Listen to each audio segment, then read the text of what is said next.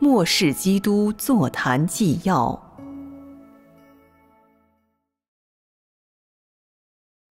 关于侍奉神的话语选段。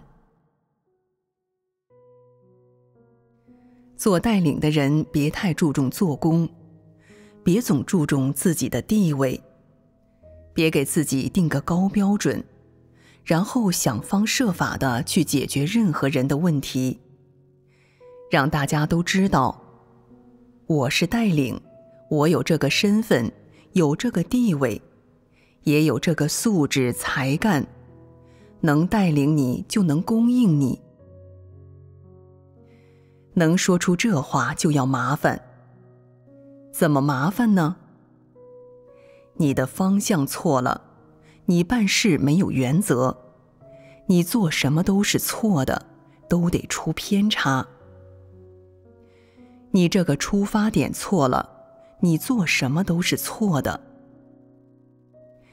你就注重寻求真理，明白真理，明白意向真理的实质，掌握这方面的原则，这就对了。临到事处理问题，只要不出这个范围，你都能帮助到别人，人的难处都能解决。那你这个带领就合格了。但是，你只明白些道理，只是为了做这个带领而装备一些道理，多听一些道，多掌握一些字句。给谁解决问题，你就讲一些道理，讲一些字句。结果什么问题也解决不了，那你就没有做带领的实际。是个空架子。这是什么带领？这是假带领，你做不了实际的工作。假带领即使没有人揭发检举，但教会中的神选民生命不长进，问题越积越多，假带领也难辞其咎，也得被迫引咎辞职。你是假带领，不管位置多高，还是假带领。现在不管你能否做实际工作，是不是假带领，这不是最重要的。最重要的是什么呢？你现在得赶紧追求真理，得注重生命进入。你个人有生命进入了，性情有变化了。明白神的心意了，能解决自己的错误情形，别人的问题也容易解决了。你明白真理，进入真理实际了，你还怕解决不了别人的难处吗？你也不用担心能不能做好这个带领了。有真理实际了，自然就能尽好本分。就能解决实际问题。你得看透这事。如果你看不透这事，始终想守住带领这个地位，树立自己在神选民心中好的形象，那你的存心就错了，自然会蒙羞失败。你如果是喜爱真理的人，注重自己的生命进入。把人的野心、欲望、错误追求都放下，不受这些东西辖制，那就能追求真理了。各项真理，你自然都会逐渐明白。这样，你帮助别人就得心应手，没什么难处了。所以，你别守那个地位，那是个空架子，没用。给你带不来什么益处，也不能帮助你明白真理，还能误导你做不少错事，另外还能让你走偏路。地位对败坏人类来说就是个陷阱，但是这一关谁也躲不掉，都得经历它。就看你怎么对待它，这是用人的办法克制不了。背叛不了，就得用真理解决。真理能解决这些难处。你如果能寻求真理，就能从根源上解决问题。如果你不会用真理解决，就是克制、背叛，有意念也背叛，有做法也背叛，有想法也背叛，就总这么背叛。这是什么方法？这是消极被动的做法。你得用积极的办法解决，就是用真理解决，把这事看透。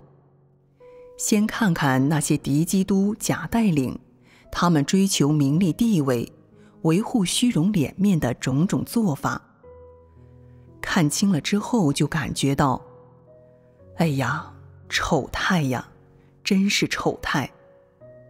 我是不是也有这些做法？就开始反省自己了，很快就发现，哎呀，这些做法我也不少啊，跟人家差不多，心里就有些懊悔，说，绝不能再维护地位、暴露丑态了，就立下心志，吸取教训，别再注重别人高不高看。你能解决别人多少问题？谁听不听你的？多少人心里有你的位置？心里总有这些东西，你就会分心，受到影响，追求真理的时候就少了。你把有限的精力、宝贵的时间都用在追求名利地位的野心欲望上了。结果没收获到真理生命，虽然得着地位了，野心欲望满足了，却没有生命进入，失去了圣灵做工。最后的结局是什么？就是被淘汰了，受惩罚了。这是因为什么造成的？你选错道路了。如果你走到保罗那个程度，那你就是受惩罚的下场了。如果你还没走到保罗那个程度，及时扭转了，那就有挽回的余地，还有蒙拯救的希望。人信神，不管存在什么问题，无论是追求地位、名利、钱财。还是满足个人的野心欲望。总之，所有的问题都得靠追求真理来解决。什么问题也绕不开真理，什么事都离不开真理。信神一旦离开真理，那就是虚空。追求别的都没有用。有些人就满足于尽什么本分，很光彩。很风光，让人高看，让人羡慕。这有用吗？那不是你最后的结局，不是最后的赏赐，更不是你的归宿。所以，不管尽什么本分，只是暂时的，不是永远的。那不是神给你的称许，也不是神给你的赏赐。人最终能否蒙拯救，不是根据人尽什么本分，而是根据人是否明白真理，得着真理，最终能否绝对顺服神，任神摆布，再不考虑自己的前途命运了，能做一个合格的受造之物。神是公义圣洁的神，神就用这条标准来衡量所有的人。这条标准是永远不会改变的，你得记住。这条标准得牢牢的记在心里，到任何时候，你别想另找途径，追求别的不现实的东西。神对蒙拯救之人的要求标准是永不改变的，不管是谁都一样。你只有按照神的要求标准来信神，才能达到蒙拯救。你如果另找途径追求渺茫的东西，幻想侥幸成功，你就是抵挡神、背叛神的人了。肯定会遭到神的咒诅惩罚。